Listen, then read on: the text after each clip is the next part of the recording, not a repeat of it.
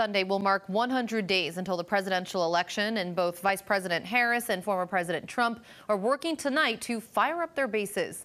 This morning, Vice President Kamala Harris received an endorsement from former President Barack Obama and the former First Lady Michelle.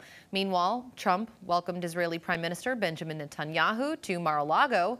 However, both candidates are locking in for the race to the White House and ready to go toe to toe with each other. I'm ready to debate Donald Trump.